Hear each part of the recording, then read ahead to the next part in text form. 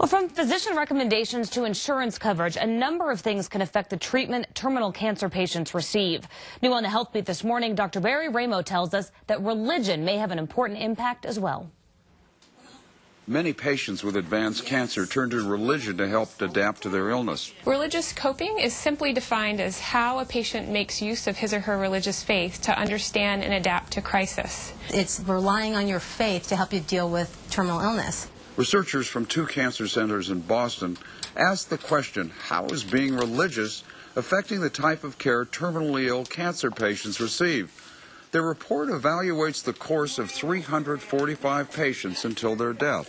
What's nice about this study, or unusual about this study, is that it takes religious coping and it shows how it actually predicts subsequent care uh, which is an objective health outcome. We found that positive religious coping was very commonly endorsed by patients with advanced cancer, and we wanted to get uh, a reflection of how the normal ways people use their faith to cope would influence um, their treatment decisions. The study found that patients who reported a high level of positive religious coping were about three times as likely to receive mechanical ventilation and intensive life prolonging care during their last weeks of life compared to those who disclose a low level.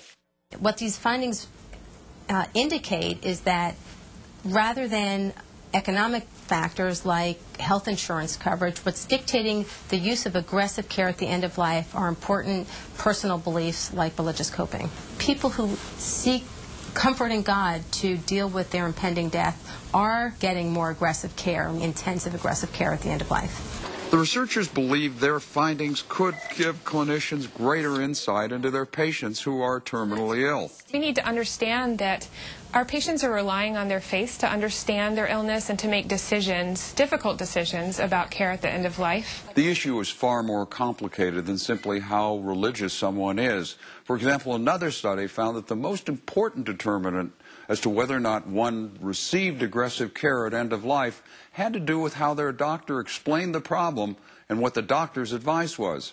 For Health Beat, I'm Dr. Barry Ramo, KOAT Action 7 News, live this morning.